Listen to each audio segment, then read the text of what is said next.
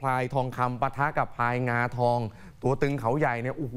เรียกว่าชนช้างกันจนงาหักไปแล้วรอบหนึ่งปรากฏว่ามีนัดล้างตามาอีกครับคุณผู้ชมครับ เพื่อจะชิงการเป็นจ่าฝูงกัน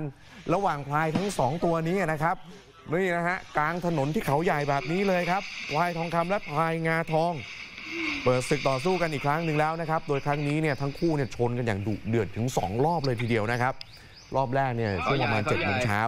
อีกรอบเนี่ยเจ็ดโมงครึ่งม้าใหม่ บริเวณโค้งกิโลเมตรที่ 29 นะครับ ห่างจากน้ำตกเหวนรกเนี่ย6กิโลเมตร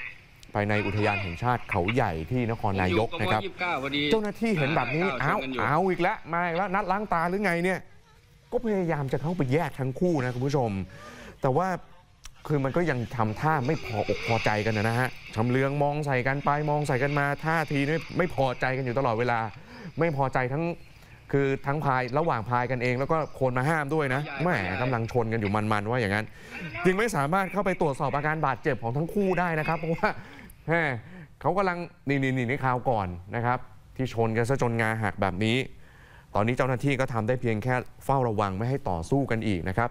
เมื่ออาทิตย์ที่แล้วนี่หักออกมาแบบนี้นะครับ เจ้าพายทองคำเนี่ยงาหักมาสองท่อนแล้ว ซึ่งเกิดบริเวณใกล้ ๆ กับจุดนี้นี่แหละ โดยคาดว่าน่าจะเกิดจากการพยายามแย่ง การเป็นจ่าฝูงกัน เนื่องจากพื้นที่ป่าอุทยานแห่งชาติเขาใหญ่เนี่ยคือมีโขลงช้างอยู่เยอะเลยทีเดียวเนี่ยเดินมาปุ๊บมาหาอะไรกิน แล้วก็มาปะกันก็เลยมาชนช้างกันซะอย่างนั้นเลย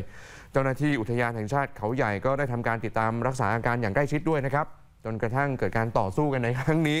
แต่โชคดีที่เจ้าหน้าที่ก็ระดมกำลัง แล้วก็แยกมวยคู่นี้ให้สำเร็จนะฮะแต่เดี๋ยวก็ไม่แน่อาจจะมีมาอีก แต่ก็ต้องระมัดระวังนะครับ พี่น้องประชาชนที่ไปใช้เส้นทางบนเขาใหญ่เนี่ยค่ะคือต้องศึกษาวิธีการเวลาเราเจอช้างดีๆนะ